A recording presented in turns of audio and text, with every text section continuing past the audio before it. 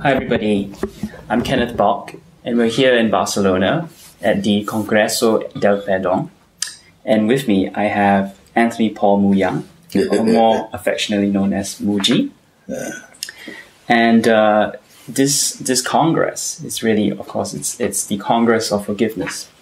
And here we have um, teachers from A Course in Miracles and teachers from the Advaita uh, Vedanta tradition, such as Mooji himself. And first of all, Mooji, welcome. Thank thank, you, you, for thank being with us. Thank you. Good. So, I'd, maybe I'd just like to start with this topic of these two fields coming together, which the way I see it is non duality and forgiveness. And forgiveness is very much uh, an integral practice um, of the Course, what we call the Course, is the short for A Course in Miracles. And I think it's going to be a very valuable experience, especially for, for course students, to hear from an Advaita teacher like yourself. So maybe let's just start with forgiveness. What does forgiveness mean to you? And what does it represent in the practice of Well. I was open to get my question in and ask you what it means for you, Ah, the forgiveness, yes. because Sure. when I first heard, you know, the expression, you know, it it obviously was indicating a broader um, meaning than most people would, on the surface, feel. Forgiveness is, you know, asking for forgiveness for a wrong done or something like that, and normally it is from person to person or from sometimes a nation also asks forgiveness for another nation or something for acts done in a previous time or even at the current time or something. But when I heard it in the context that it was expressed, yeah. it felt I wanted to hear from you what is this term because you seem to put it. It almost had a, a kind of epic quality to it. So I, I, think I should be, I should ask question in your in your yeah, yeah, um, yeah, yeah. Uh, course. What does what does it mean? Uh, forgiveness. Yeah. I think you're absolutely right in saying that most people think that forgiveness is this um, almost like I am better than you because you did something wrong and I forgive you because I'm morally superior than you. And that's maybe for the most part of the world how they, they view forgiveness. And that's certainly been something that has been ingrained with a lot of religion. Hmm. I'm, I that may be even a bit of a limitation for me. Okay. that, because I think a lot of people in the, the Christian domain as that I am familiar with growing up. So sometimes could- forgiveness can be very challenging hmm. for them. Hmm. If it's really authentic, I'm not talking about politically correct forgiveness, Yeah. but a forgiveness which is to say, look, you know, you you killed my son, and you took away the light from our life. Hmm. But I'm choosing from my heart to forgive you for this action. You know, so it can be also very challenging for people Yeah.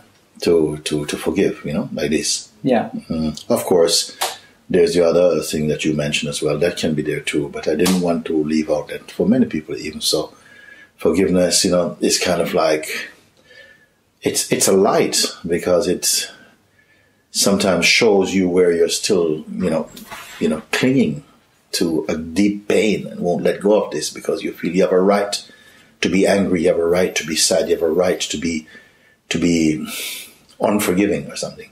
So on that level, no. Yeah. Yeah. But uh, yeah, of course, I paint the, the extreme okay, of that spectrum. And so I guess what the course would call true forgiveness, and the course has two separate definitions of forgiveness. One is forgiveness to destroy, which is the forgive, forgiveness in the eyes of the ego, how the ego would want to perceive forgiveness. Mm-hmm. And the other is true forgiveness, or what the Holy Spirit, the path of the Holy Spirit, the path of Spirit, as we say. And how what this true forgiveness is is really to see innocence and to deeply realize that there is no separation between individuals. And once you have that paradigm you see that it's the left hand doing something to the right hand. And something that that interaction you know maybe like you said someone has killed my son. When you deeply see that unity of all beings, then you realize that that interaction must have occurred because you want it to be separate from this individual. Hmm. And true forgiveness is seeing this construct that you've made and dropping it. Hmm, hmm. Yeah. So, first of all, what do you, what do you think of this definition of true forgiveness? Well, actually, I, I, I heard this now that from that place where you say, you know, in the higher consciousness, where it is seen that uh, that we are one, yeah, uh, maybe we vary in expression, but in essence, we are one, one self. So, therefore, as Papaji would say, if the hand puts food in the mouth, should the mouth say thank you to the hand? You see? No, it's it's one thing. So, when life is seen with that unicity of being perspective, no? then automatically, automatically, we don't have to even say, I forgive you for doing this in a sense. It, it, is it is immediately understood, spontaneously understood that it is just there isn't really an individual doing something to another individual per se. Mm-hmm. Like that, no? That life becomes somehow like the theater room of consciousness. And something is playing out these roles and so on and that there isn't really a person doing something to another person in the deepest and purest insight. Mm-hmm. Although we cannot totally dismiss this, depending on how authentic the position we're looking from is. Because if you, inside your heart, really see that there's a unity of being, that there we are really one, mm-hmm. you really are that, then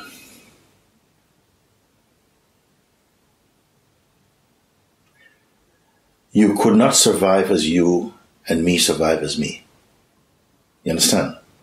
If there's really a unity, then where would I see you with any depth of meaning? Mm-hmm. You see, there cannot be you and me when, when we are one. We can say at the superficial level of universal language interaction, we can say, yes, you did this and that but that will be sitting inside a larger consciousness in which it's already established that there's no reality to you and me as independent autonomous entities or something like that. right. So the paradigm itself changes, the way of seeing changes. The way of seeing has changed then. Uh, the language would, may continue because we have to interact and we're still in these bodies and there's still a duality there, mm?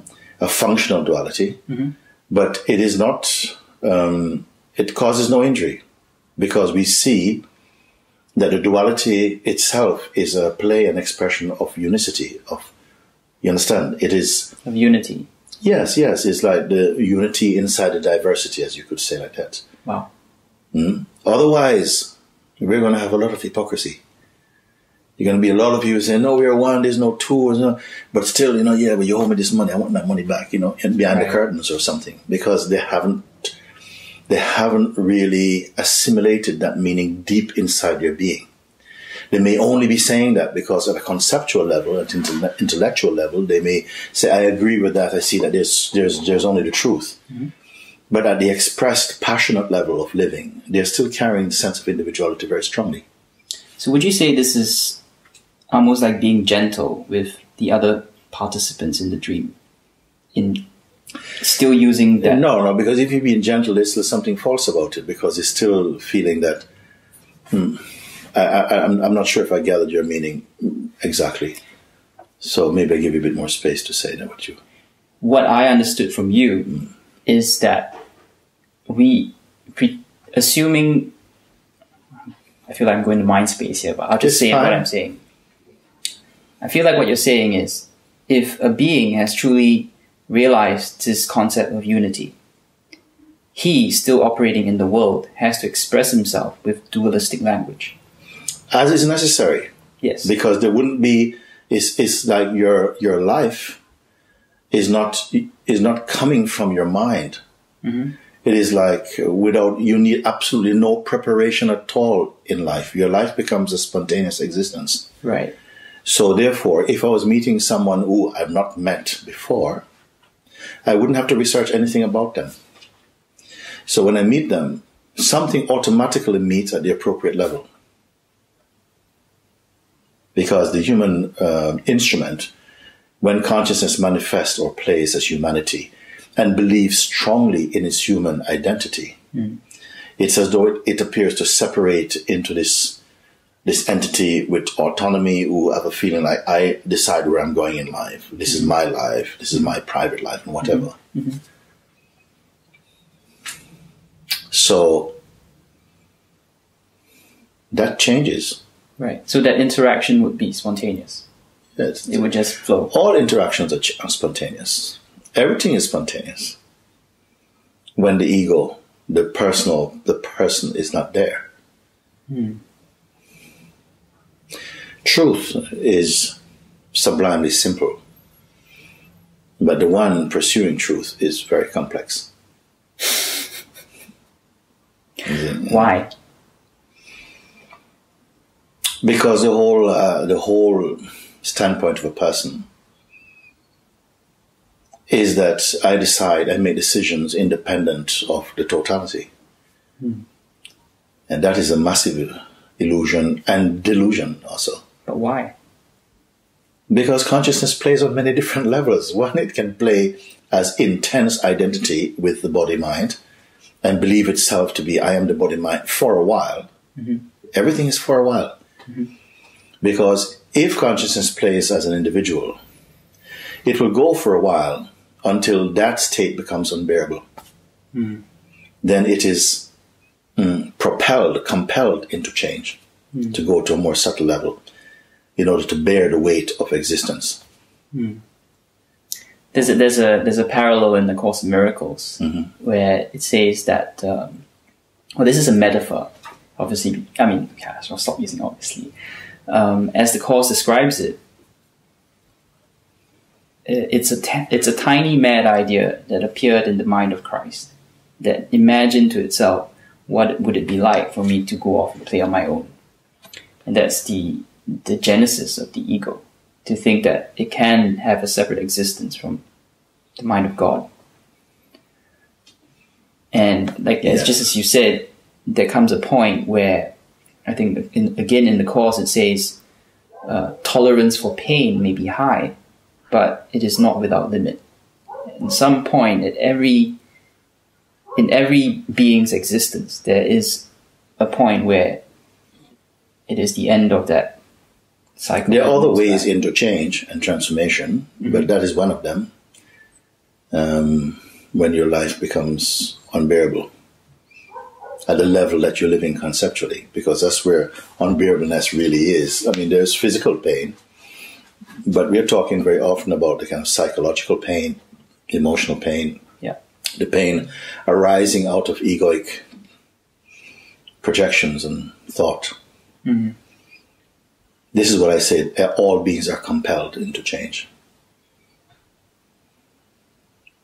are compelled to evolve um, in consciousness.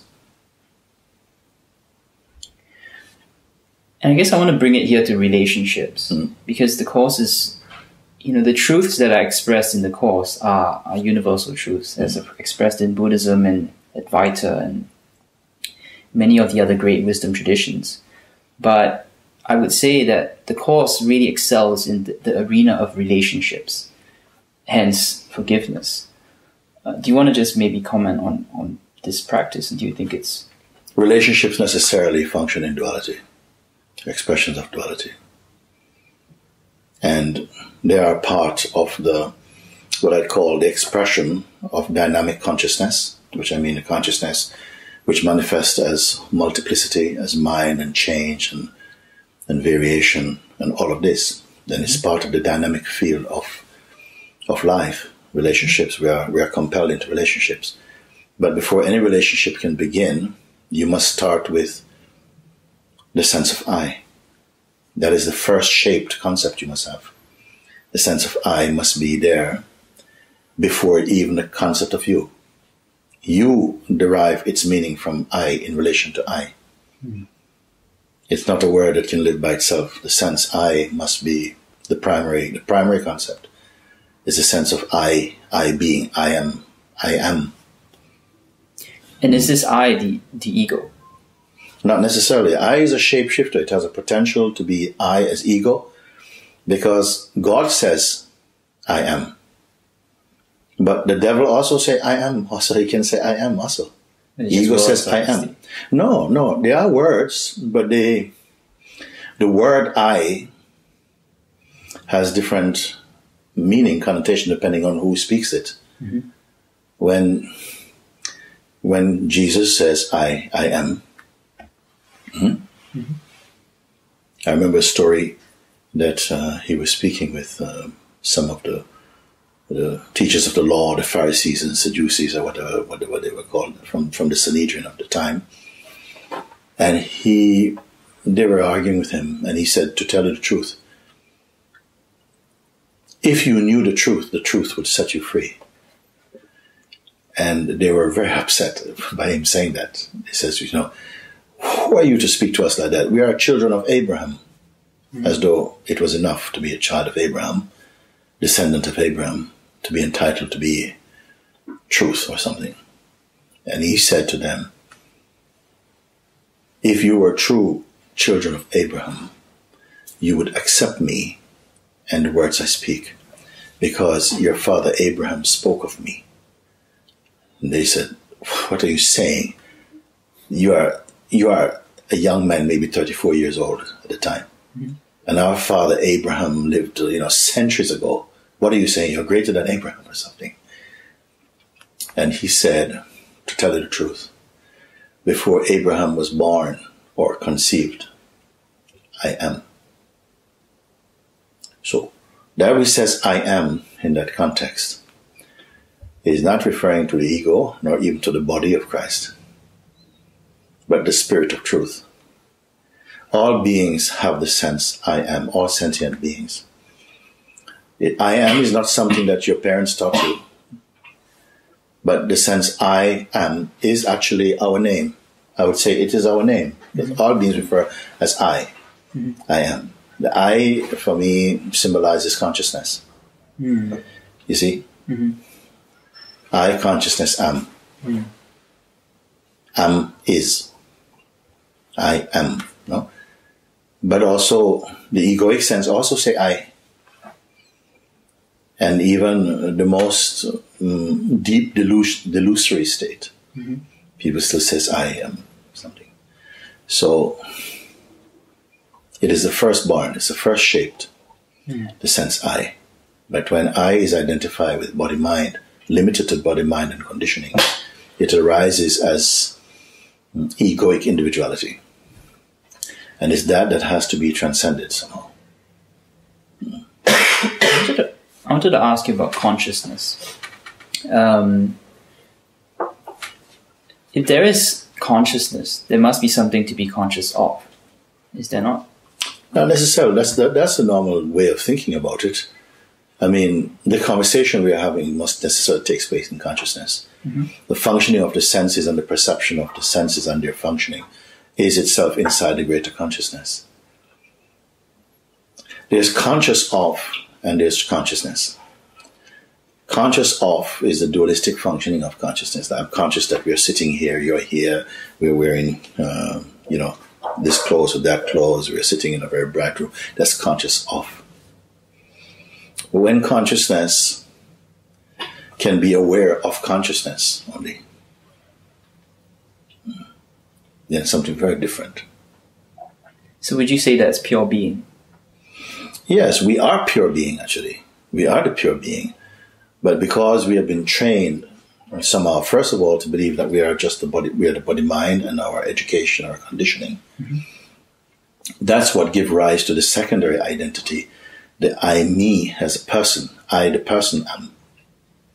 And the person is an illusory entity, in fact. What we are is the beingness. Hmm.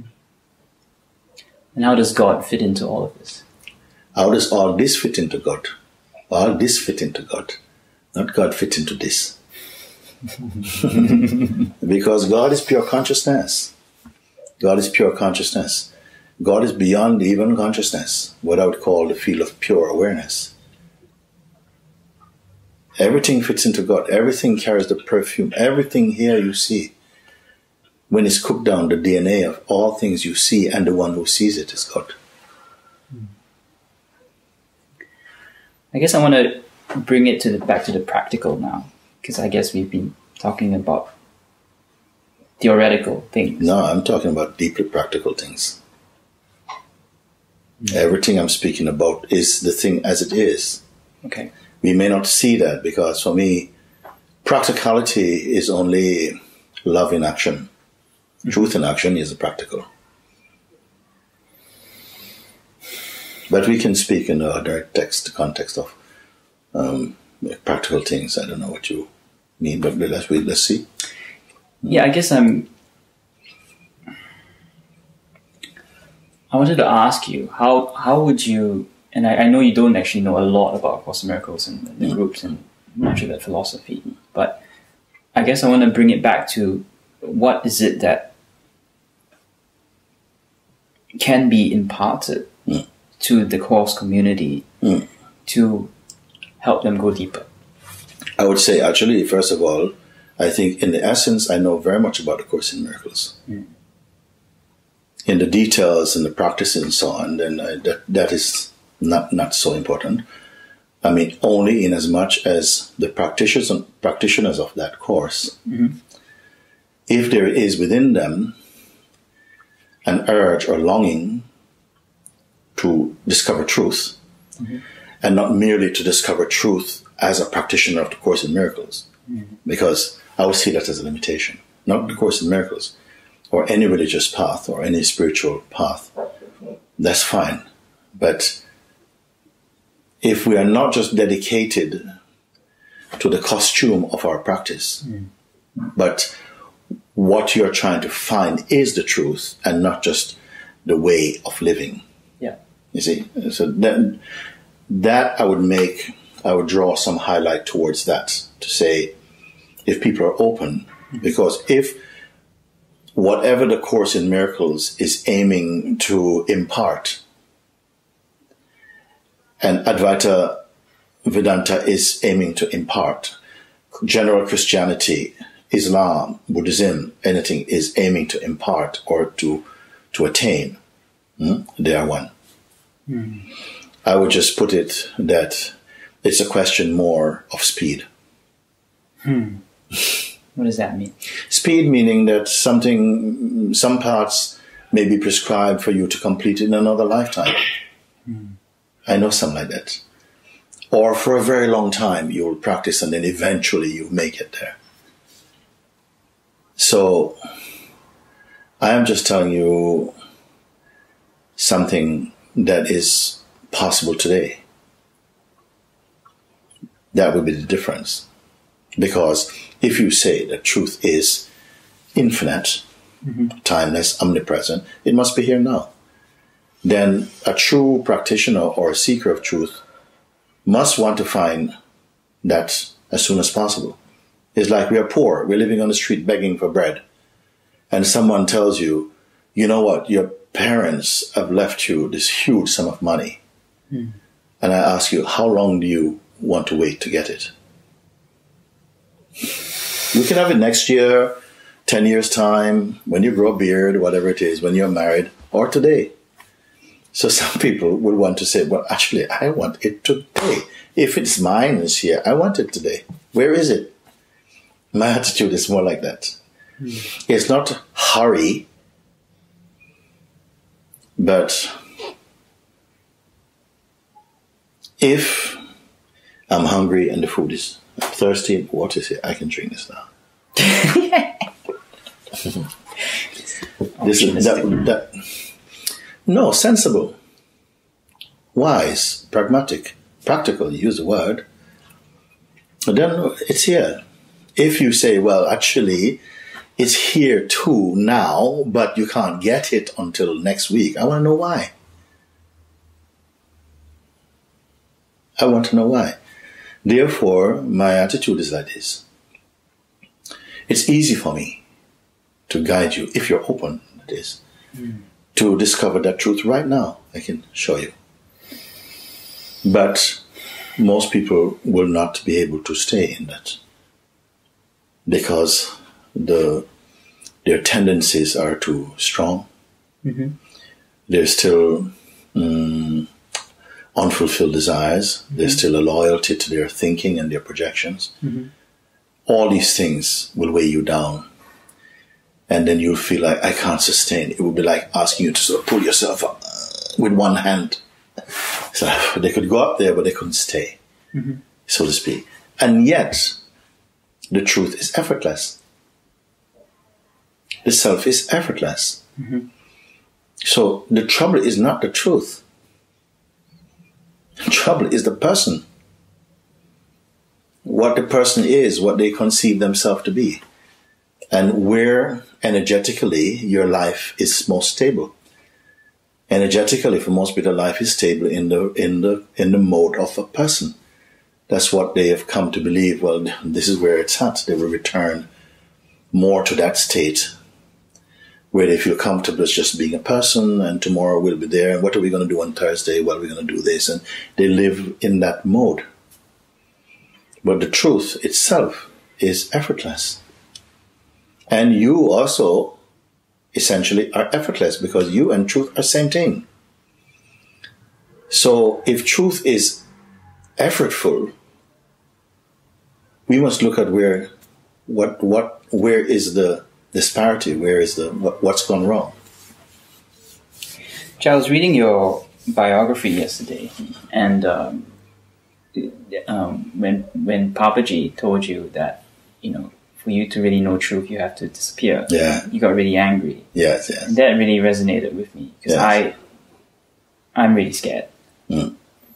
I wasn't scared. It wasn't that I was scared. For myself, what happened was that it wasn't like, oh, I'm angry for you for saying that. It was like something deeper down. It was like an old anger. It was like, it, it was uh, an unexpected anger. I have no reason to be angry at Papaji, hmm. but something was angry. It was like my devil was angry. You understand? Something inside just got caught. Some place where I was hiding that was still left, something that was still surviving in the dark, in the blind spot of my own seeing, was just caught. Mm-hmm. Just by his presence, even. And it started to. And it became so loud inside, so loud, that I was looking at him and I couldn't actually physically hear what he was saying. He was- inside my head, feeling all this rage, and it was coming like, "Oh, you know, you have insulted me, and you have exposed me in front of all these people. I've become your joke. You know, you're not my master. Who do you think you are?" It's all this rubbish, you know. But it was very strong, and I just wanted to escape to another planet. Actually, there was one guy. Yeah. so I left that place very, very. Ah, I knew I was waiting for this. I told myself I'm, I was waiting for this because this is what I needed to really leave this place. It was enough. Hmm. This place where Papaji lived was called is called Lucknow. Lucknow. Mm-hmm. But for me, in my mind, it was bad luck. Bad luck. I'm going. I'm going. That's what happened. But it turned out beautifully because I went home. I was very determined to pass, started packing my bags to leave. And it was a very hot day. And I felt to go for a walk. I went out into the local center of the town, sat under a tree, fuming. The energy of rage, anger was still inside me. And then somebody came and said hello, who was also in satsang.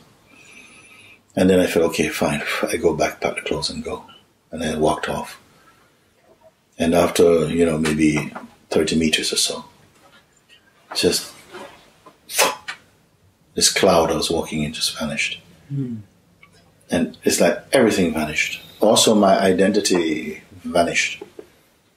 Hmm. I could not find myself. I'm just reminded of the story of Mara and, and the Buddha. Hmm. Uh, Mara being the demon that came up during when Buddha was, I think, was the last thing that he faced before his enlightenment. It just feels to me like it's something similar. I think it goes true for many people like this. It was also in Christ. Also, he was driven to the wilderness, Yeah. and uh, after the baptism, and all that was left inside that needed to be brought out. This, the devil manifested. Where did the devil come from? Where did the devil come from? In the big wilderness, where he come from? Out of the potential of Christ, he come. The devil's not living in the wilderness. To then put in front of him the remnants of what could catch his mind. And he had to overcome that. He had to transcend that mm, temptations. You cannot be tempted unless you are temptable. That is the greatness of Christ, actually. The greatness of anyone is that what you are is greater than your mind. Hmm. But you must remember and be one with that. It's only because we forget our true nature while mind has such power. Because the mind cannot exist without you, but you can exist without the mind. Hmm. The psychological neurotic mind I'm talking about. The functioning mind is fine, it doesn't leave a bad smell. But the neurotic, um, psychological, devious mind, you have to transcend. That's what keeps us in the state of duality, negative duality, limitation, fear, all these things.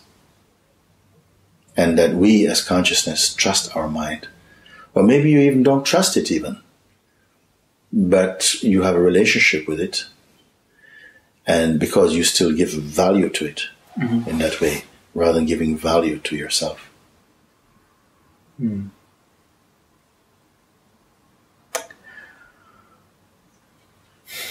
I guess I, I struggle with that because I guess some part of me still feels that the mind has a use. It- to me, the concept of spirit being the master and the mind being the servant is important. But here it feels like what we're saying is the mind has to be completely let go of. The mind itself is the self. Mind also emerge out of the, the pure. Mm-hmm. But when the pure imagines itself to be the mind and the body, mind becomes a deceiver. Its role becomes that. Its role comes to test you because you have descended, actually, into a grosser realm. From, from the state of pure consciousness, we believe ourselves to be the body mind and conditioning, which itself is the, it is the fall. Hmm. You understand? Hmm. Because the mind, this neurotic mind, cannot intimidate the pure self. Hmm. It can only intimidate the idea we have of who we are. So it's that aspect of the mind that must be transcended. Surprisingly, when it is transcended, meaning its influence is transcended, it changes sides and becomes your servant. Hmm. But not before. The mind is not your friend, not yet. As long as we have the sense that I'm this person, this is me, this is my life, I'm going here, I'm going there, I do what I want, the mind will ride your back.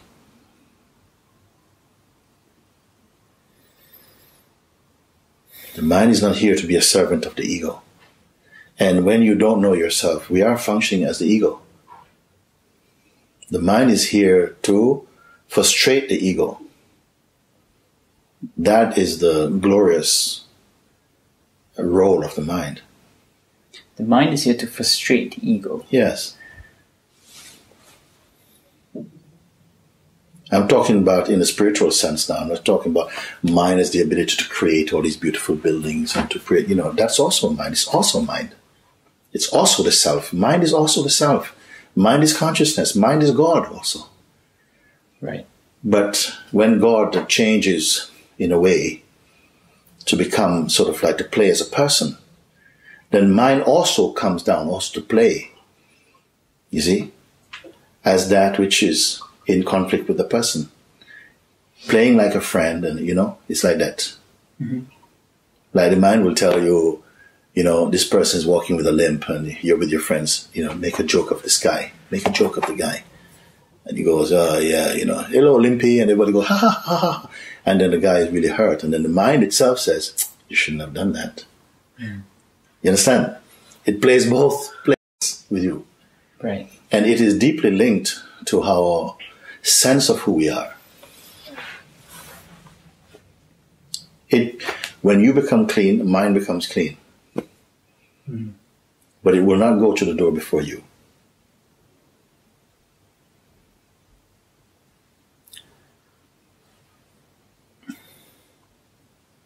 bringing it to the level of a global consciousness. In what I've seen in what I think is happening on this planet mm. is that there is huge change. At least, I mean, change is happening all the time, but there is a period that it really feels like the earth on, and humanity is waking up to the nature of themselves as one being. Would you comment on the current times? I don't believe it's true. I'm sorry. I want to believe it's true. Mm-hmm. I don't believe it is true.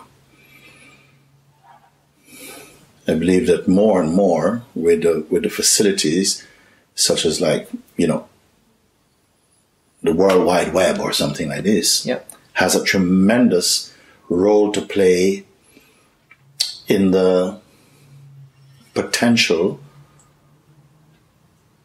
from making available and accessible the wisdom of the self. But internet doesn't work for the internet. It works for the mind of men. So if it is used in a beautiful way, it's used in many different ways, no? Mm-hmm. It's, it's, also used for very corrupt ways, but it also has a potential to be used for beautiful ways. Mm-hmm. And now, these days, for those whose inclination or their temperament is oriented towards spiritual discovery, internet is also facilitating this. Also, no, and uh, I would say some of what we're sharing today, you would not be able to get on the internet. You would not have been able to do, you know, ten years ago 15 years ago. You'd have to go to some place like Tibet or India or some place. And, you know, traditionally it would take 12 years living in the presence of a master, you know, before you have imbibed enough, absorbed enough to wash the mind clean uh, or to realize the self. What now is everything becomes very accessible, mm-hmm. which is good. Mm-hmm. Mm? I don't know if the proportion of people has changed, that larger numbers because of this would change. I think there's a lot of people who, for, who, for them, spirituality is still a kind of novelty. Mm. It's not yet a portal to truth, to real truth, mm. to conceptual, intellectual grasping or conviction of truth, yes but to themselves discover that they are the living embodiment of the truth. I don't know how many people like that. It would be great that more and more come into that understanding. And I cannot give numbers. I don't think anybody can give numbers. But it is not enough, I have to say, to simply have have a, a concept of what truth is, to even believe that this is true, to have beautiful feelings that arise out of at least the opening up of the mind and the consciousness. And that, that is also good. But to be the truth, not be as an action taken, but be as a realization, as an understanding that is established so profoundly that it replaces the ego. I think it's rare. So you don't buy into this concept of acceleration it may well be, and everything I'm doing is to accelerate that. Mm-hmm. And other beings, wonderful masters in the world, are doing it. Mm. They try. Or they're compelled to. But I don't want to, because it's not the first time. In my age, more than you, I would have seen it two or three times, where this global fantasy that, oh, this is going to happen and this is going to happen. The world likes this kind of thing now and again. But it never goes the way that we project. And we will never have an accurate reading of what really is. Nobody, not, not, not even a Nostradamus, can tell you these things. And it's better that we don't think we know. Because what we think we know, we completely ruin, in fact. The life is best lived in its natural speed of unfolding. The human mind is all into projecting. It wants to bet on it. Even put the bookies will start to open up shop about uh, betting about it. About the day when we'll stop betting. you understand? The mind cannot help it. I just don't want to. I don't see any need, any greatness, any truth in trying to create any spiritual fantasy. Okay. Why not find out what can be found out now? This is what, what I'd want to be saying to people.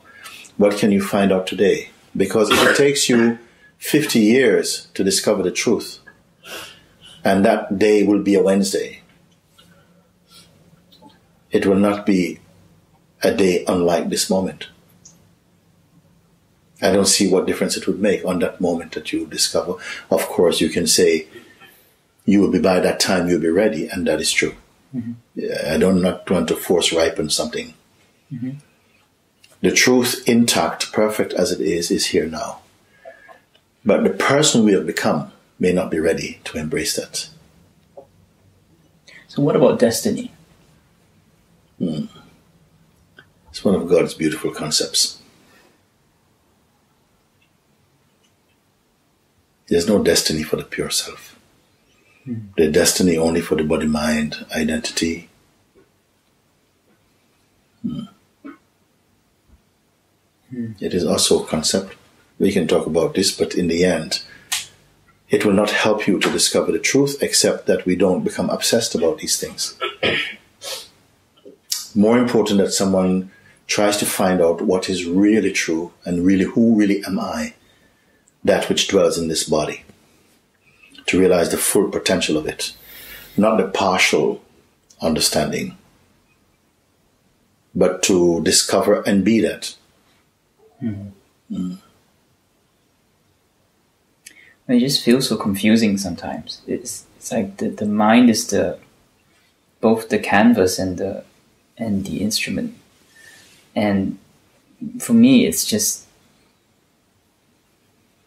I I I follow what the course calls the Holy Spirit, mm. and I, in a sense, surrender to that higher power because I really feel like it's just hard to to navigate this this maze, this infinite maze, yeah. without. I want to tell you, you don't have to navigate. You have a small role to play. This is the beauty of this understanding. Nobody can figure out this mighty universe. But the one who knows the self knows it spontaneously. The mind is a very unstable realm, most unstable. Therefore, to plan your route through it, the waters will always be changing. There's a higher way, a purer, more direct way. Much, much, much more. I would not tell anybody go and study your mind except a little bit. Understand a little bit how it is. If I understood this, what this is, then I can understand what everything else in this universe is.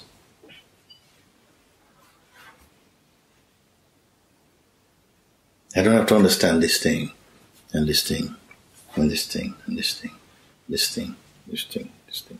Don't understand any of this. Nobody can understand it.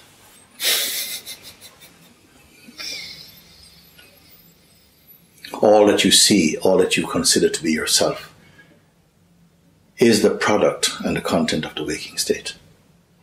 In deep sleep, you have no cognition, no perception, no identity, no belief, no religion, no I. And we enter this state with pure grace and surrender. Every human being, even an atheist, Buddhist, all go to the same state. And we love to be in this state where nothing is, not even I is there. Hmm. But something is here. Something is there. That we really are there. But it itself is not sleep. And when the waking state arises again, then the I again emerges, and when the I again emerge and becomes the me, then the you emerge, and then time emerges, and then other emerge, and then world emerge, job emerge, relationship emerge, belief emerge, all these things emerge. We are we are also actors inside the waking state and witnesses of it at the same time.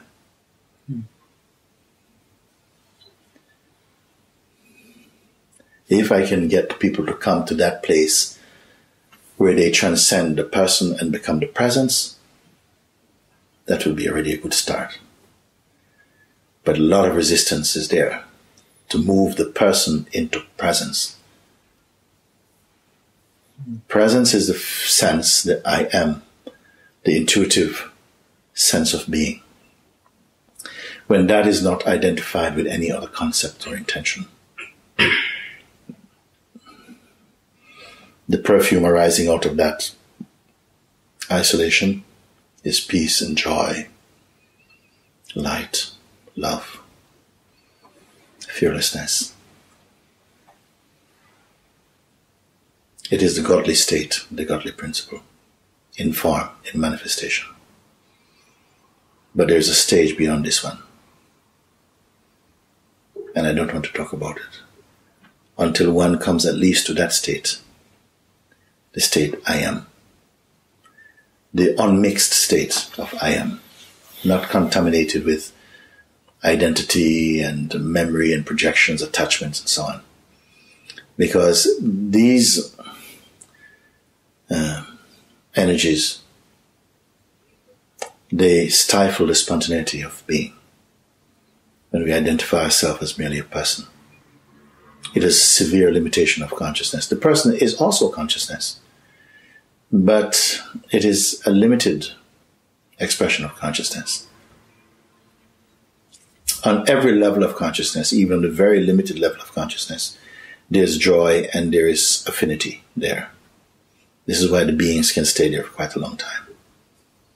Because the juice of consciousness is there and the vital force.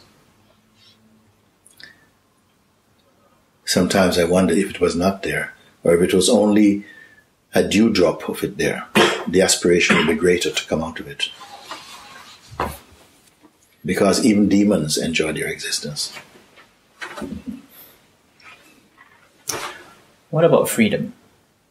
Is is freedom then an impulse? Is freedom then a is what? freedom then an impulse, uh, almost like a force to for the self? While we are in the dreaming state, freedom, the impulse, the concept of freedom uh, must come because it becomes the um, uh, it becomes the driving force that is necessary yeah. in order to to leave uh, the state of bondage mm-hmm. to the body. There must be aspiration for freedom. Ultimately, even this aspiration will fall away. Hmm. Hmm. hmm because freedom is natural to us. It's our natural, it's our natural state, mm. awakened state, when we are free from the um, hypnosis of conditioning and identity. Mm. But while we have that identity, then the aspiration for freedom must be there. Otherwise, a human being is as good as dead without aspiration. For a while, the aspiration for freedom takes on, puts on different garments. It could be an aspiration to succeed in life, to get married, and so on.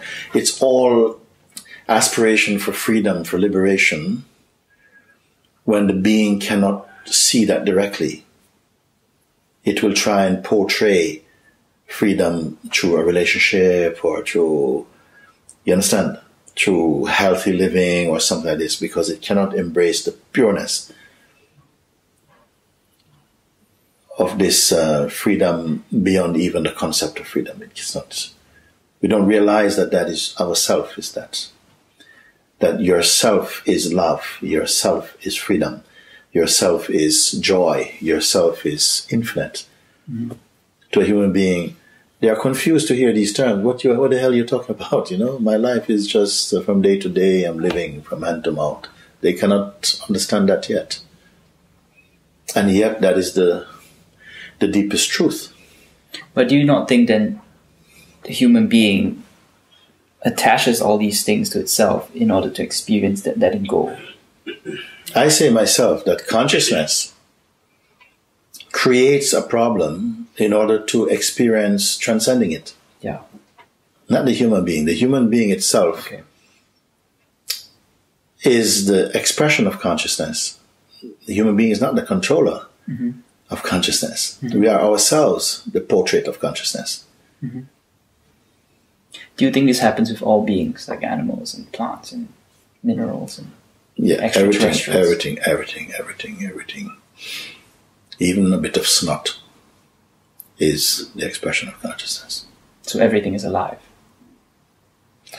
Even the inanimate objects are alive mm. because they are they are expressions of consciousness.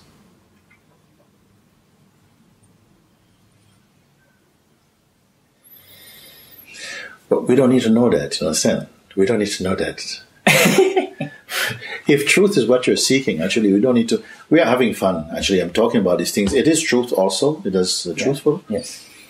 But there can be a fascination about these things for some mm. people. I say what I'm speaking now comes naturally mm. as waves of illumination that come when the mind is being set free from the stranglehold of identity. Then all these things, you come to know about them spontaneously. Mm. I don't see that they are the most important. For me, teaching is not the most important thing. Discovery is the most important thing.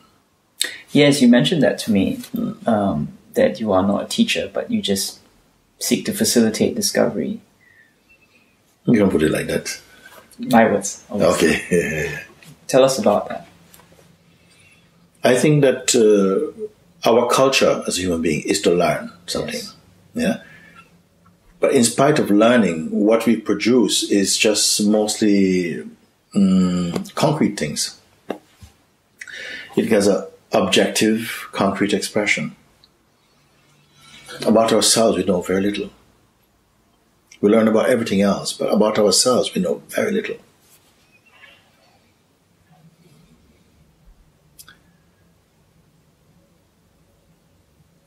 When human beings study themselves, they call it, I don't know, psychology, philosophy, or something. But these are just concepts. Real learning or discovering about oneself does not lead to philosophy. It leads to liberation. Liberation is when a human being has really fulfilled their opportunity in this existence. They've come back to their original self, where they're naturally happy, naturally at peace, naturally compassionate, naturally knowing the unity of all things beyond merely intellectual conviction. And is that enlightenment? We can call it enlightenment. Enlightenment would mean only to realize what you've always been. And that you don't become. Therefore, I say you don't need to be creative, don't use imagination, mm-hmm. you don't need knowledge, you don't even need study. Mm-hmm. If truth is what you're seeking. If knowledge is what you're seeking, then you need all these things. You have to study all these things, compare all these things, but it will not necessarily lead you to liberation. It might lead you to a superego, to pride. So you would say enlightenment is a shift rather than a process. I think everything you do with a genuine search for truth take you nearer to to that state. I would call it grace picks you up more than you pick you up. You're carried by the wind of grace. Grace is another name for what we are also. Mm-hmm.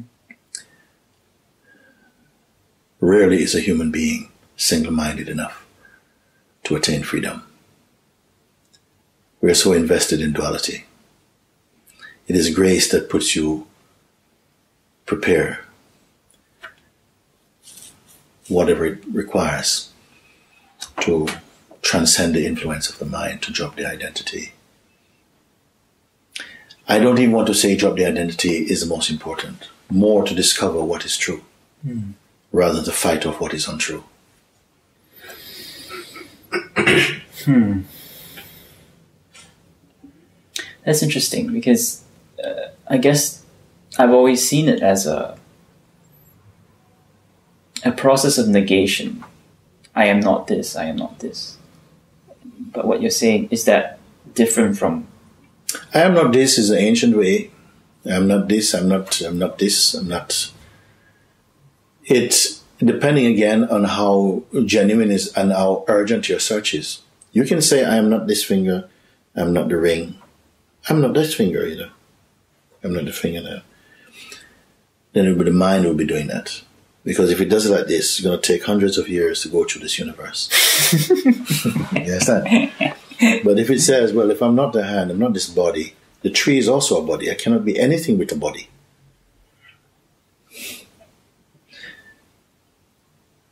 I'm looking at my hand. My hand is not looking at me. I'm looking at this world or this earth because the world is a different place.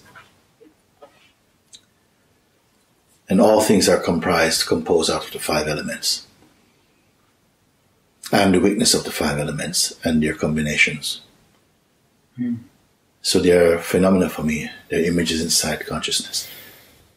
I cannot be that. So in two scoops, we have completed the entire universe then. Rather than saying, I'm not the grass, I'm not the clouds, and this is buying time for the mind.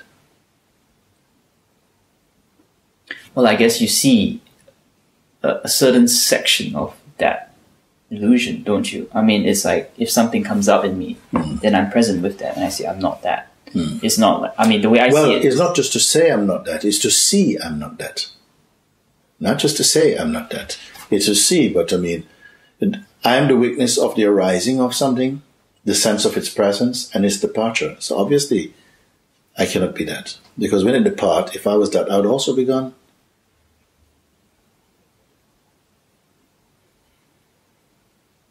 It's very practical, very matter of factual. Anything I see also, it appears inside.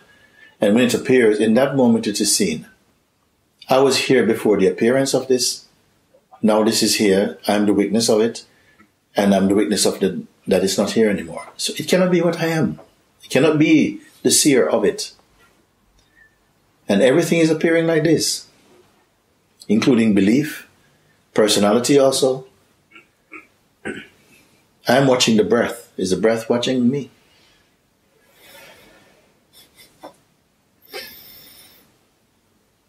No idea.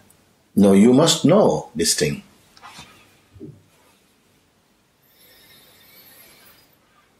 The, the watching must be coming from here. The center of the watching was coming from here.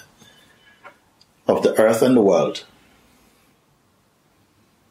The earth is one. We are living, there's one earth, but there are millions, billions of worlds. The worlds is only what you, what is shaped. Your picture of the earth and your place in it and your interest and your projections and your dream superimposed upon the innocent earth make it your world. And each being has their own take on the world. we can look at these trees, we all see the same, same trees. Yeah, but we all feel it differently. Because some trees, you may have a very strong feeling for them, so you have a greater relationship with them. That's a uniqueness already. Other things may be there also. We're doing that with everything you see to privatize the manifestation. And each one, it functions differently because we impart uh, the herbs and spices of our own belief and creativity and desire and dreams and attachments onto it. We perfume it with our own projections. And then we are living in the world of our own projections also. Hmm. Even the beings as they exist, we project onto them personalities we want them to have for us to enjoy also. This is what I mean by the world. And that world is also passing. And the earth also is changing. Everything that you perceive. Even the senses and their ability to function is also changing. You're able to tell that your eyesight is getting weaker. Something, watches this? Which itself is not sight. Hmm. It happens in the mind. The mind is only a an energy field. You're the witness of that. You're the witness of mind. You're the witness of no mind also. Is it but am I speaking anything so strange? Are you not the witness? Who can who can refute? It's just in a space that's so abstract I can't how do you conceptualize that? Why do you have to conceptualize at all? Please listen, because we are obsessed with conceptualizing. But at some point, if you and when you understand and are yourself, all the concepts will lose their potency. Now, can I explain what I mean? Sure. If we are deeply attached and have the need that the concepts at all in at all costs the concepts must be preserved, then you will not become free. First, you must come to the place where the concepts themselves take birth. They take birth in you. Hmm. I am that vastness. I am that emptiness. I am the witness of the concepts arising and their meaning, their potential. I make use of them. I can only be conditioned to believe them to be greater than what is, or something like this. It's only belief. If you follow through the inquiry, you can come to see right now also. It brings you to that place of emptiness. Now, initially, you may think, whoa, you know, what is this? Uh, everything is collapsed. I've got no world. It's only your mind is still interpreting. But without, when this interpreting tendency of the mind is also seen, so I say, but also I'm not this. I'm rejecting not just kind of haphazardly, no, but wisely I'm looking and looking and seeing, but that also is just momentary. All this is momentary. My idea of myself is always changing. Also, this is momentary, it cannot be the real. Then, like this, this is the true negating if you look. It's not just, oh, I'm not this, I'm not this, I'm not. No, no, it's looking and saying, but I cannot be any of this, not even this. Hmm. I have nothing against this. I'm grateful for this because this allows me to experience. But to say I am that, no.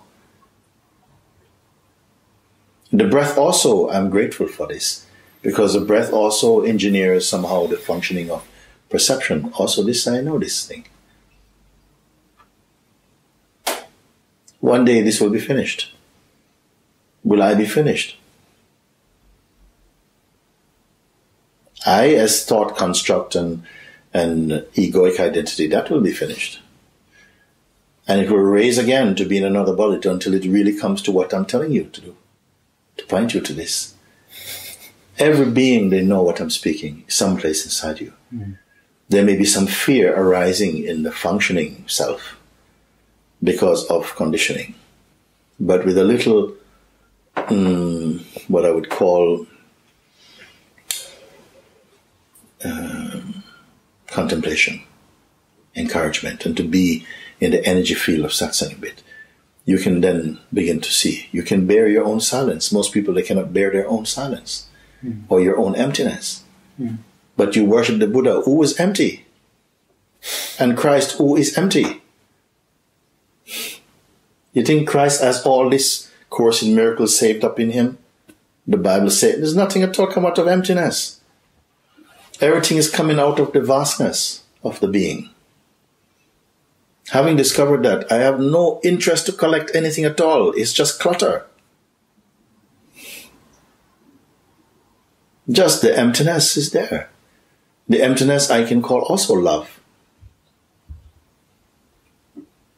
But I don't need to hold on to anything at all. In fact, I find that that gets somehow in the way. It's not even get even that cannot get in the way of anything. It's just unnecessary. So this is utter simplicity. Yes, but it's not a practicing simplicity. It's just what it is. It's not like there's somebody doing simplicity. Mm. All of this is an expression of a simplicity. As I started by saying, the truth is utterly simple, mm-hmm. But the seeker of truth is complex and complicated. He only has to transcend himself. No one has to transcend truth. Nobody can transcend truth. You can transcend the influence of the mind, which you must, in order to be effortlessly happy. And not just to be selfishly happy. The one who is free is not selfish at all. Even by doing nothing, they change the orientation of existence. They perfume the atmosphere with, with the energy of joy and liberation, love and life and light. They have the same God quality. God is not doing anything at all. And yet, ceaselessly, the creation is moving just by the presence of God. So, would you say that God didn't create the world? Yes, He didn't create the world. The world is not created, the world is creating.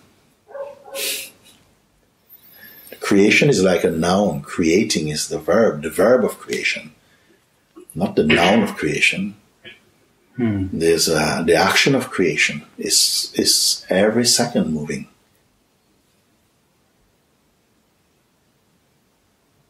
You can say the creation, yes, of course, we said the creation, but it's dynamically changing. This tree was not there in the day of Adam and Eve. But his great, great, great, great, great, great, great, great, great, great, great, great, great, great, great, great, great, great grandfather, grandmother was there. It's just as real as it was then. But it's a movement.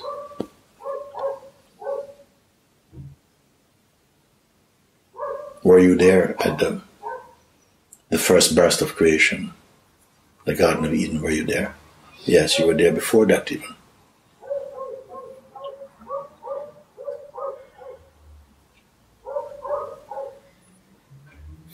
but not as Ken, not as Mooji.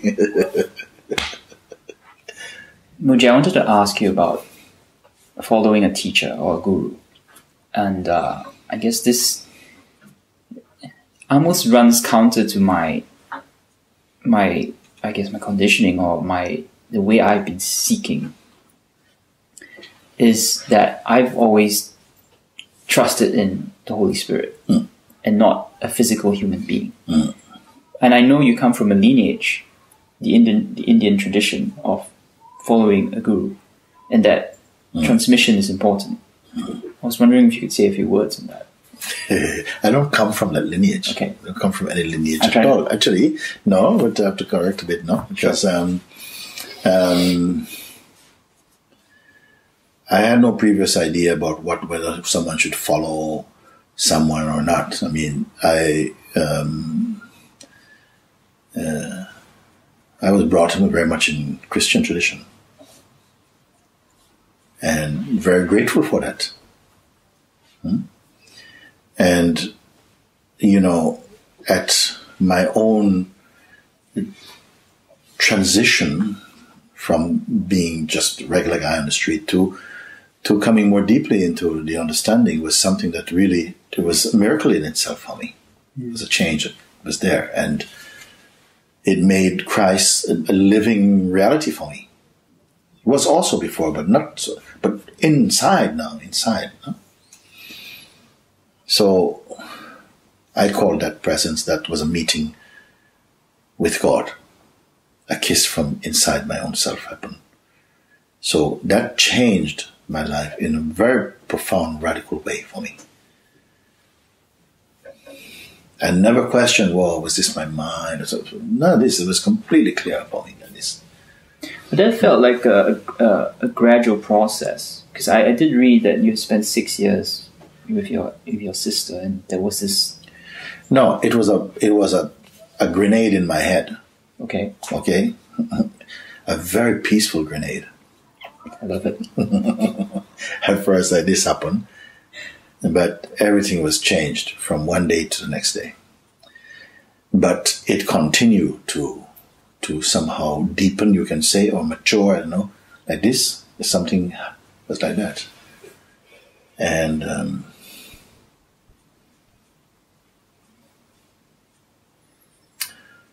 I was not used to, and still I'm not reading many books. Now we have a lot of books around, but mostly people read them who come to spend time where we are now. But um, in in that time, it arose in me because I only read the Bible then, and uh, it arose in me this feel for knowing something more about what was going on in such a powerful way. And uh, I first encountered the book on Ramana Maharshi, Yeah. but I couldn't. It wasn't right for me then. I couldn't really embrace it. It was felt very intellectual for me. I was very much into the surrender and God knows best, and you know I don't know anything, and that was natural for me. It wasn't a practice. It was just what I felt. That is, th- that's all I can do.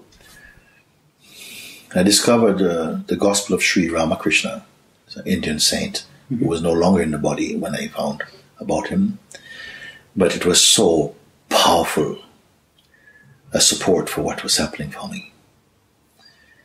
And um, so well, I had a chance to go to India in 1993.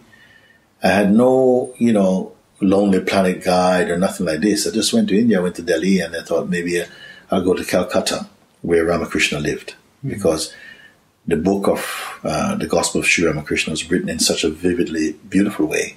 I think I'd like to go and sit in his room, maybe you know, look at his slippers or something. I don't know. I felt so so strongly that he had really so much of what he said freed my mind from the little the little tight places it was going sometimes.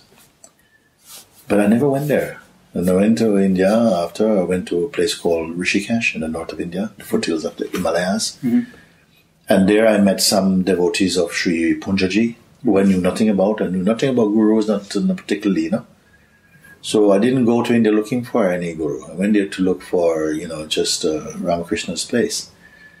And then by chance I encountered Papaji like this. And I can see that uh, grace, destiny brought me there. You see? And um, when I first met him, I felt that I was in the presence of a very powerful being.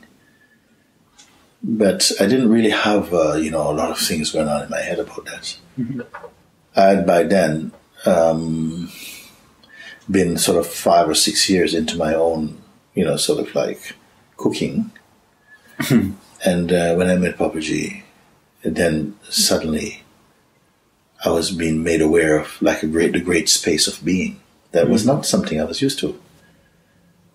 It's uh, about the I quality, the importance of what that is, and so the sense of this expansiveness begin begin coming to my consciousness.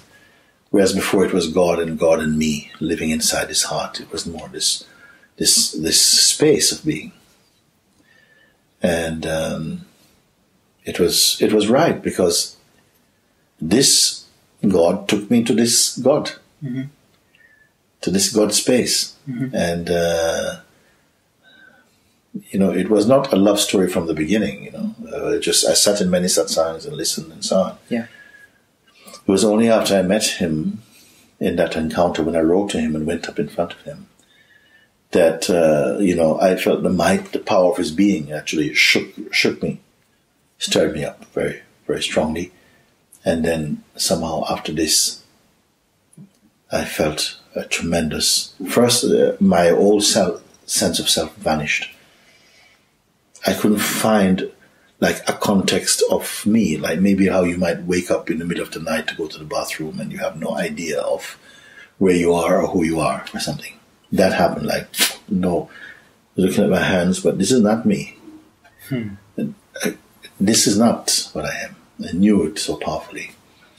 And then, shortly, within a few moments, a, a great love for Papaji arose. Then I realized I did not have love for him before. I had respect, but not love. Hmm. Like this. So, Was there ever a fear that you would lose this?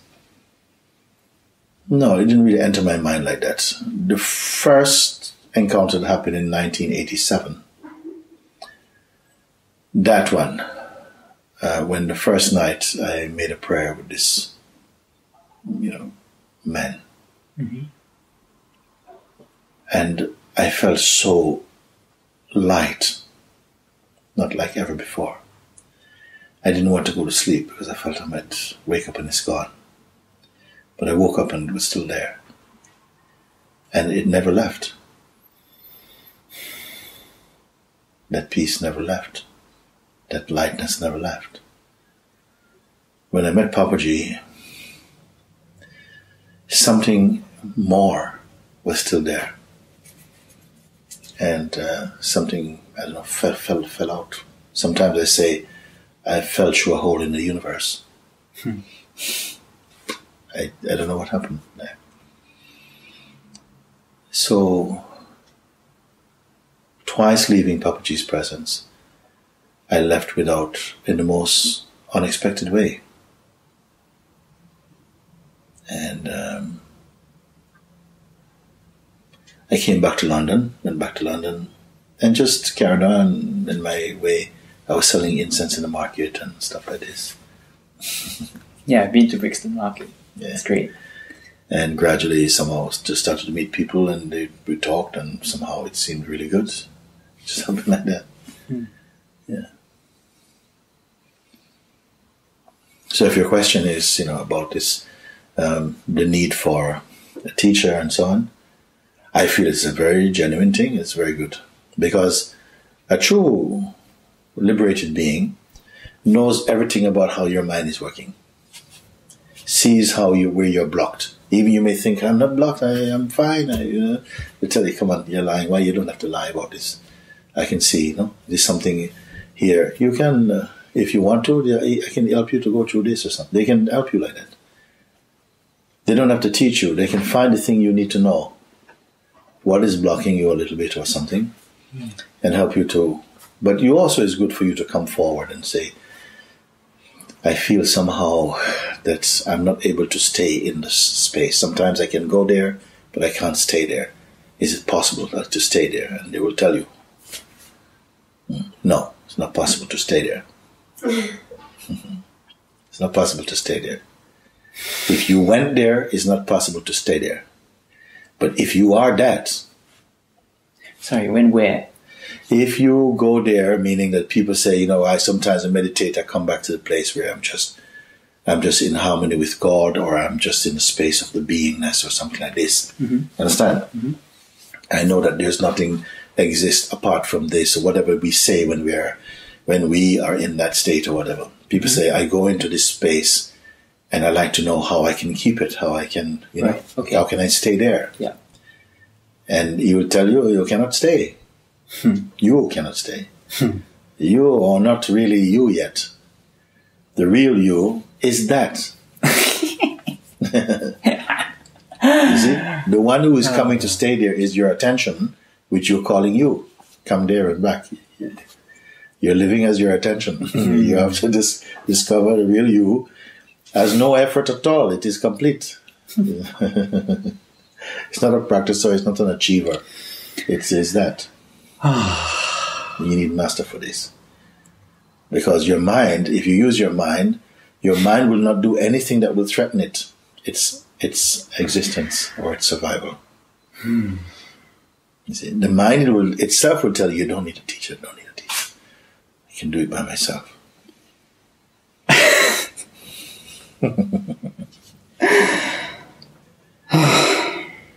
because it knows a teacher alone can help you to do that, to go beyond the rule of the egoic mind and kingdom. Like that.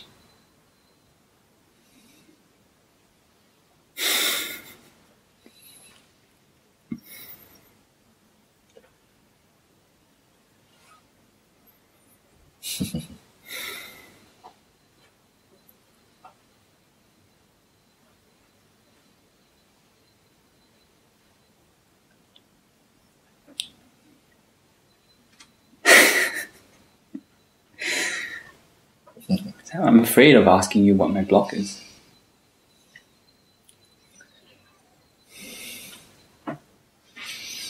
Well, I don't want to go around telling people where their block is. Enlightenment consultancy. Um, first, someone has to genuinely come with the with the urge to move beyond, you know, the the grip of the conditioned mind. There must be something there, not help me to go to the next step. But you, the next step will be your last step. No, okay, I can't help you. You're into steps. To make one step or no step that will take you completely to true. Let's not be small about it. Only fear makes us feel. Ah, I'm not sure if I'm ready. I'm ready. If I'm ready for that. Well, you're not ready to be you. I'm not ready. You're not ready to be you. I want to continue being the idea I have of me. I have to continue being my self-portrait. A self-portrait is not you. Even if you're Leonardo da Vinci, your self-portrait is not you.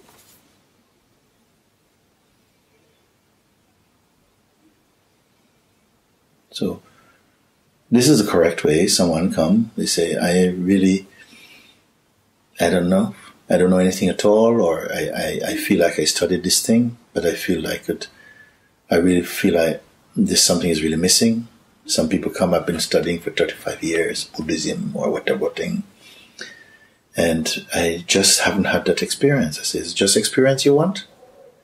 You don't want to be just free. Why are you looking for experience? Experience all going to come and go as well. Why are you searching for what's coming and going? Everything is coming. You don't have to be spiritual to watch what's coming and going. Everything is coming and going. When you find something that's not coming and going, when you know this thing, when you know this thing, then you can be fine with what's coming and going. I'm trying to pull you out of this world. This world is this world is this too. But the understanding about this world, based on a human conception, is very weak. It's not truth. And what happens is that we can be, to some extent, devoted to the illusion of freedom and not be free. You see. Or even don't care about freedom at all. You don't have to care about freedom. I feel this is freedom. Free, this is freedom. Freedom is the freedom to be free and the freedom to be bound. It's consciousness's game. It's God's game, if you want to put it like this. Someone said to me in satsang, I just feel like God is is playing with me. I said, No, I don't think God is playing with you. I think God is playing as you. Hmm. So oh, makes it feel different somehow.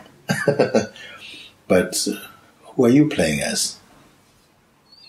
Who are you? Hmm.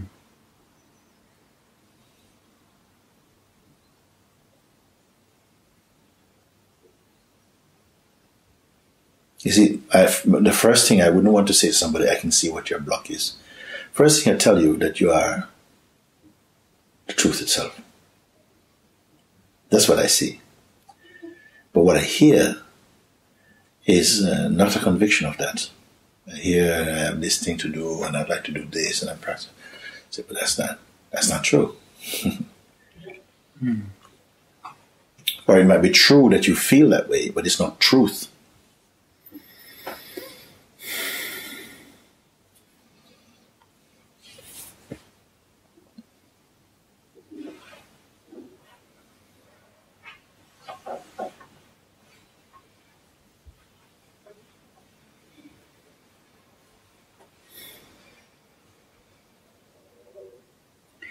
Wanted to ask you as well, but the I guess the variety of approaches to this that you're pointing to. Mm. Would you is it one approach manifested in different forms? I could say like that. I don't I I don't find anything disagreeable with that. The approach would be the search for truth. That's the approach. That approach leads to um, spiritual discipline or religion or whatever else you want to call it. Mm? But it starts out in its fundamental way that it is a search for truth. Or you can say the search to be home or the search for unity. It's all the same thing. Mm. I see no difference.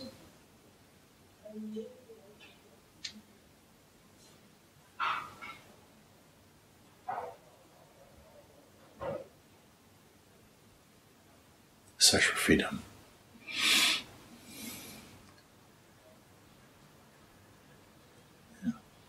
So I guess I asked this the question about following a guru comes with this my thinking that there can be a bad guru and a good guru. Mm. And I guess there are no experiences that are they can lead us away from this, You get the guru that you deserve right? for the moment. No, that's not a vindictive statement. It's totally appropriate because you may think, oh, I I'm ready to meet uh, the master guru, the Satguru itself. But maybe first you need to meet a guru who is going to expose your that you are still treasuring certain things, which make you not yet ready to meet. Hmm. You're not able to assimilate the presence or the guidance of a true one yet. Still something is buried. So you may meet someone or something, you get a bit caught up there for a while. Just like many people feel like they come into the world and they should have the greatest relationship with their with the first love and be happy ever after. No, you're going to meet someone who is at the same resonance a little bit with your own tendency. Mm-hmm. You have to grow, you have to evolve in a way. Yeah. You cannot just, because you exist, you're entitled to have the best relationship in the world. No, perhaps you can have a few terrible ones first, and it helps you to get out of your own crap. Maybe you have a lot of nonsense inside, and you know, I mean, it would be terrible if a really good person came along and found someone like you.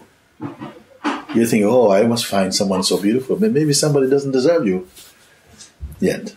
So you have to hang out with someone who's got something and something we cannot know exactly what it is. You have a little, little bit, uh, and then gradually you grow and grow and grow, and you leave more delusions apart, more illusions apart. You leave them. You spend a bit more time to find value in being with yourself more and stuff, and then eventually you may meet someone with whom you, you have a relationship that's beautiful. The best relationship is going to come when you are discovering the truth because you go beyond your little self and your little meanness because there's a saying the opposite of love is hate. Mm-hmm. But i've found the opposite of love is more selfishness. Hmm. I think we are very selfish. You understand? Where is it just hate many people don't just hate hate but everybody is selfish meaning that you care more about yourself than anything else and so on. And although even when you say, oh, I, lo- I love the world, it's only because you want to show people that you love the world or something like that. You want to make something about you again. You know, it's about you. So if you're selfish, how are you going to have a beautiful relationship with anyone? Hmm. You see, things like this. So, in the same way, spirituality and relationships is inside the spiritual kingdom. No, you're, you're discovering. Any genuine discovery is a spiritual discovery. And if you What does spirit mean to you in the first place? spirit, Yes.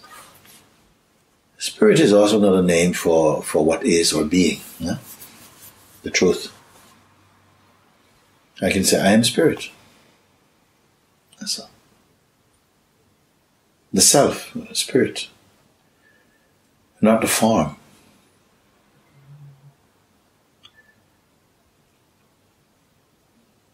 You can speak about spiritual, spiritual, spiritual personality or something, but the pure spirit is be- beyond personality.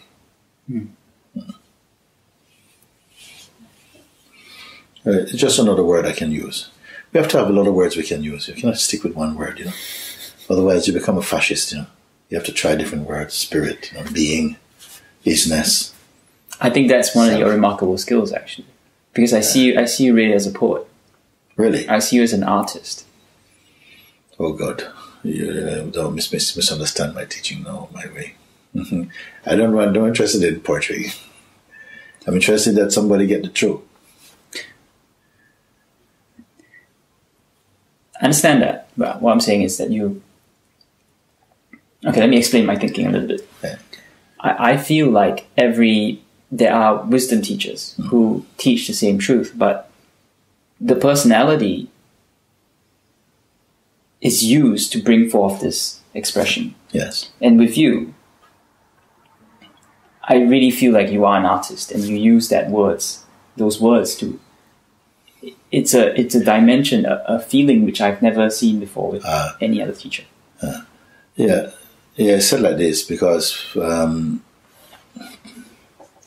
because in a way, everything in the life, in every in every culture, in every way of expressing, the truth is there, and we see examples in in different things. So sometimes it comes true like that. So it's like this, you know, um, and it it's able to touch into another place inside of people that just is capable of moving in a broader way Mm-hmm. rather than always like this, less this. This is also okay sometimes, but not all the time like this. You know, sometimes no, throw it out.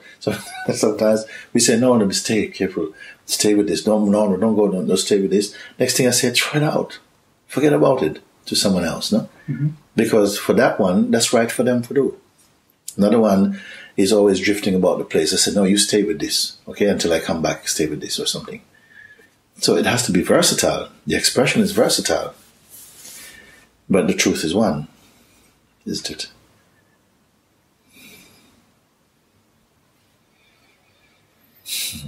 But you were asking me something else about, uh, I don't remember. Uh, gurus. Uh, that's gurus. uh. Anyway, don't Yeah, well, well, it's about. I guess. How do you? I was going to ask, how do you choose a guru? But then you Ah, answered yes, that yes, with yes, saying yes, yes.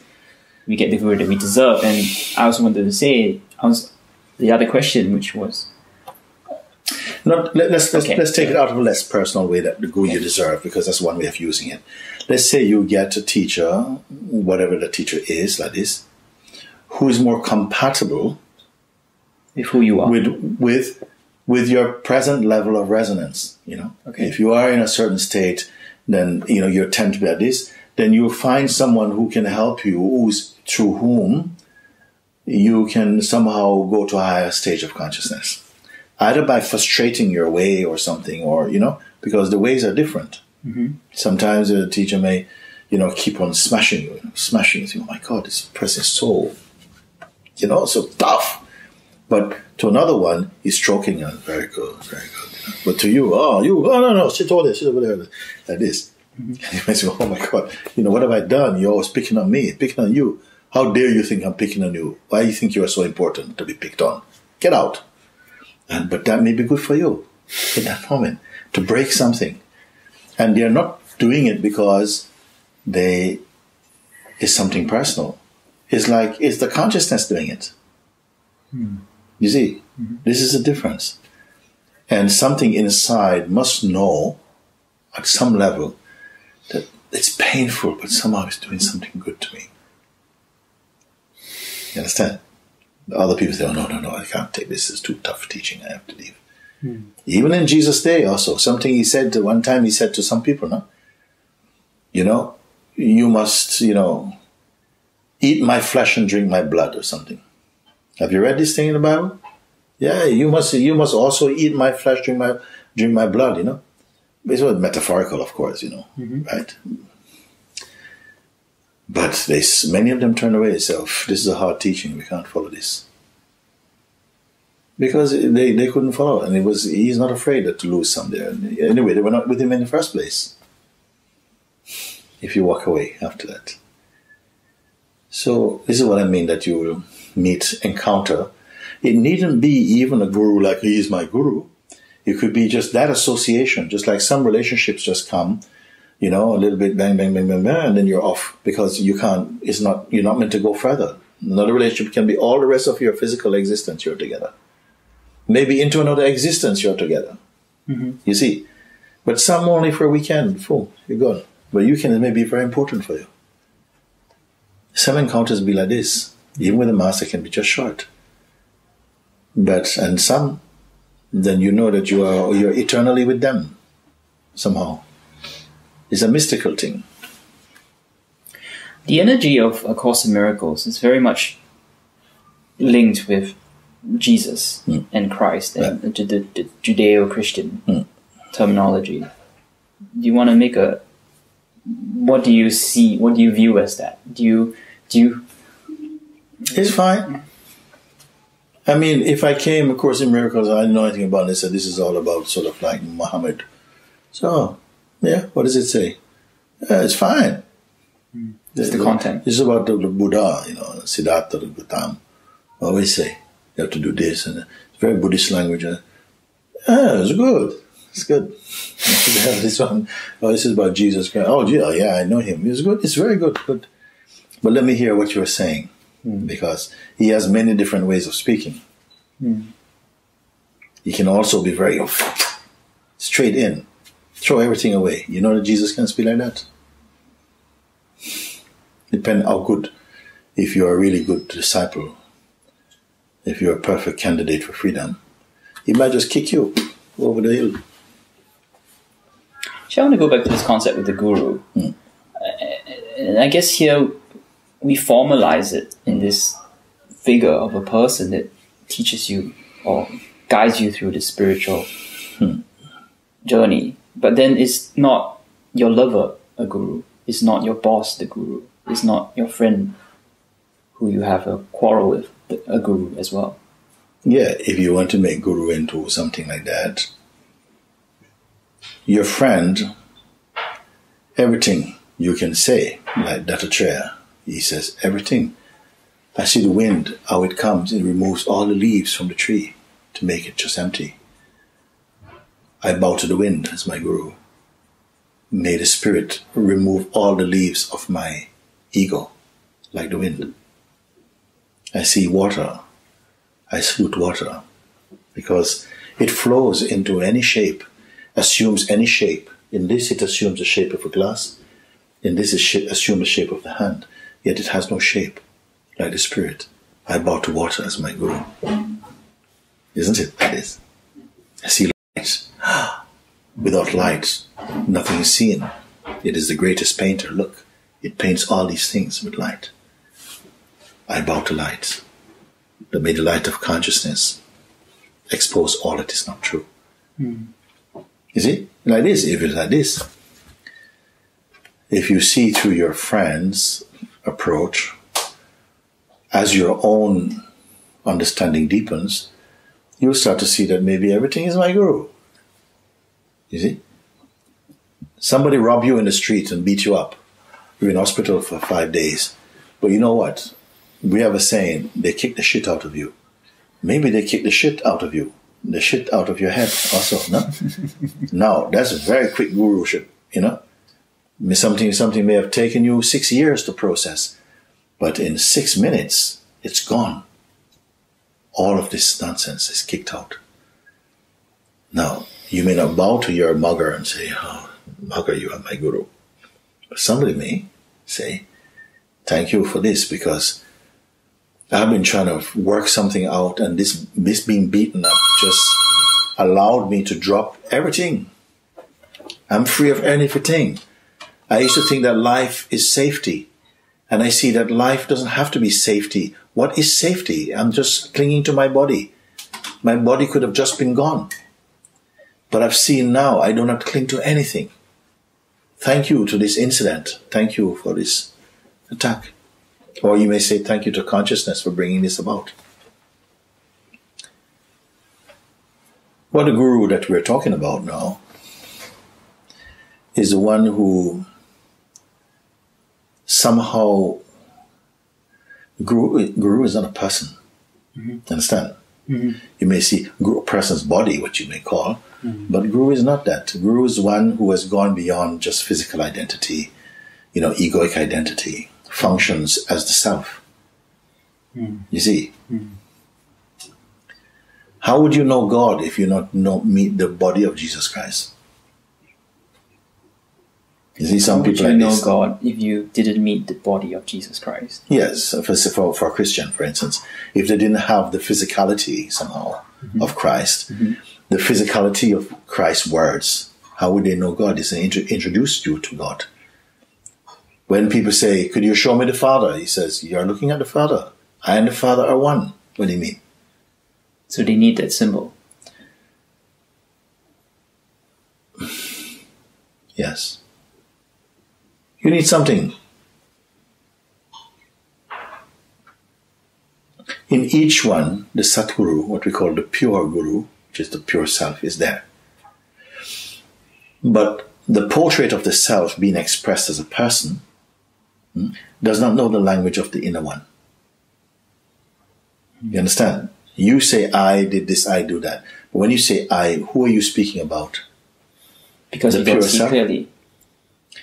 No, it's still the consciousness, but it's a consciousness that's adopted certain conditioning and believe itself to be this kind of person, which is mm-hmm.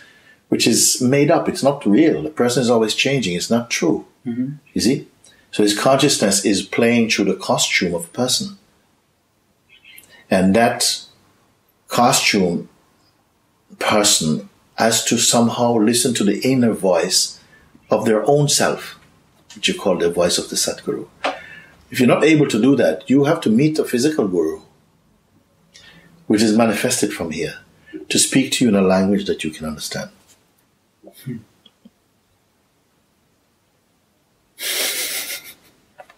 You brought all this into being in order to understand from it who you are. A guru is very different from the, your friend or you know some other person because they don't have that. They're not. Um, their mind is not contaminated. It's not in service to a person, so they're not have the duality and the confusion of a person. And so also they have the power of the self, the grace of the self. You see, like Jesus Christ, He say, "I have the power to forgive sins," because people say, "But who?" Who else but God can forgive sins? But he knew his identity with God. Said, I have the power to forgive sins. Isn't it? So the one who realize the truth, who have no duality inside them, in a oh you have a duality inside you because you're still functioning in this world. I still see you and this kind of stuff. But inside this interaction with you and her and this and that, this is a smaller space of consciousness sitting inside a greater space of understanding. In which it's all love. Love is conversing with love in the form of these bodies or something like that. Or truth is conversing with truth in the form of these bodies. It's like that. Hmm. Consciousness is speaking to consciousness about consciousness. For the love of consciousness. It's like that. When you're a person, I'm speaking with you about her, what we're going to do later on, and so on. This is a much more shallower conversation. Hmm. But when consciousness is somehow self focused, then all the interactions lead to a state of inner expansiveness, of space and light and mm-hmm. joy and love.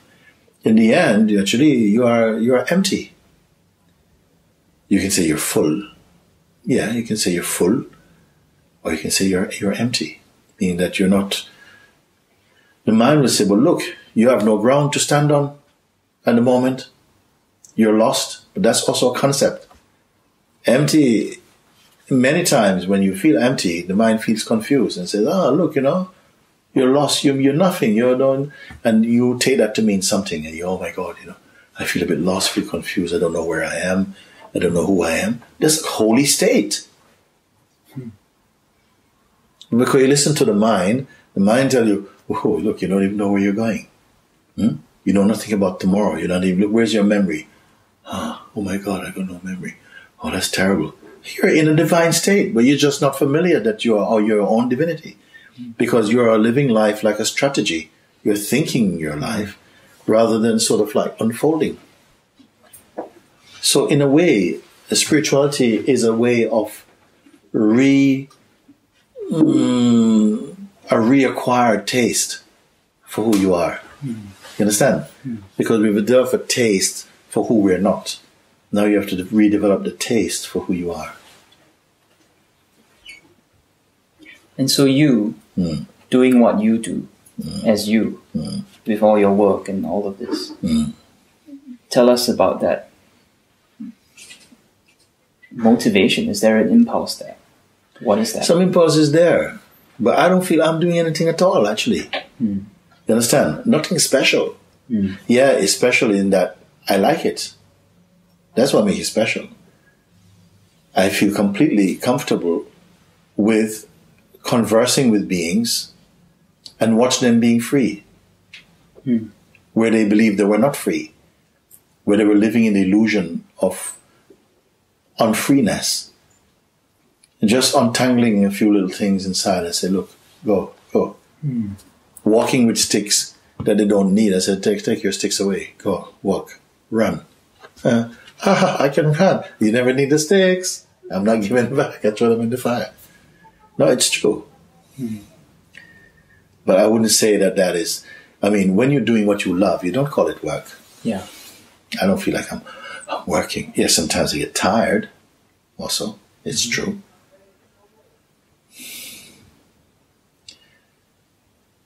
And sometimes I feel also that uh, I would like to, even coming here, I felt I would like to stay where I was.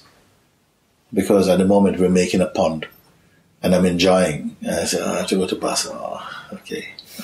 No? But in the bigger picture, of course, I'm happy to be here, no? Mm. But go to here poor eating crisps and stuff like this. I'm going on the coming here, sleeping in a new bed, and oh my God, and all this stuff. That me. It's true. This is good. This is good. No, no, I don't complain about all that. Just something, you know, sometimes I like to play a little miserableness. Of course. just a bit fun. Yeah. It's like this. But of course, I'm here, then we are always, when I come at the end, we say, that's the most amazing thing to have come here and share again with this beauty, this beautiful thing. Mooji, it's been a wonderful conversation. I think we're just going to wrap this one up. Oh, okay. Any kind of last words you'd like to say for this interview? I would say that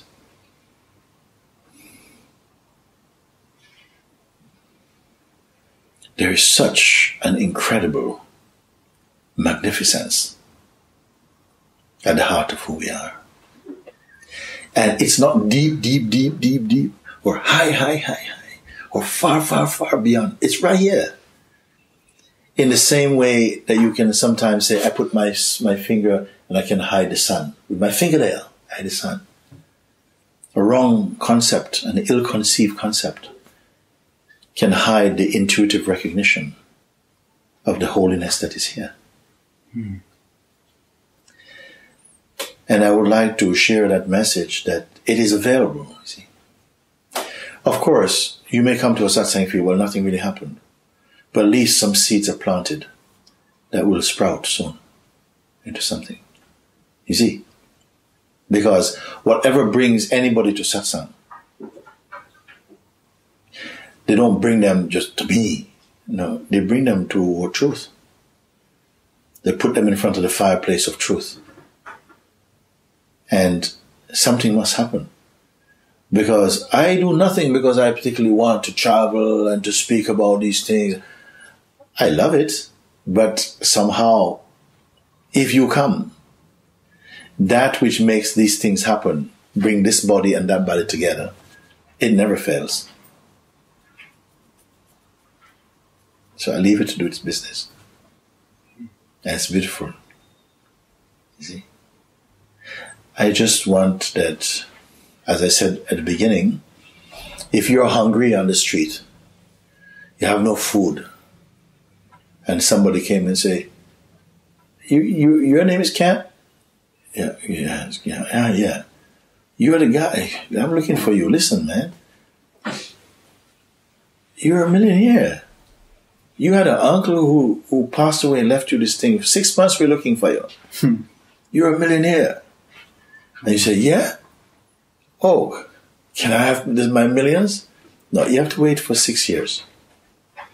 No, if you're a millionaire, I want my money now. I said, How long you want to wait for this money? Hmm.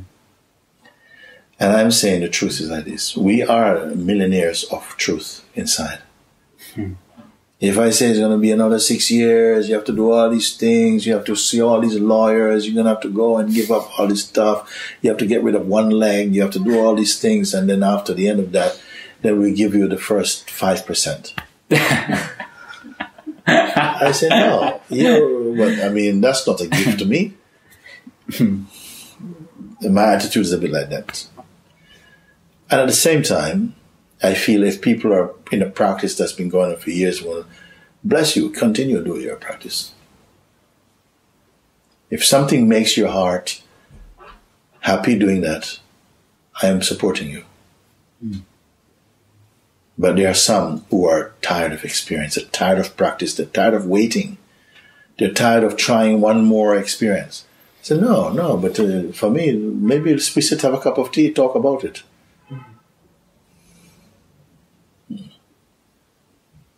That's, that's what I would want to say. Thank you.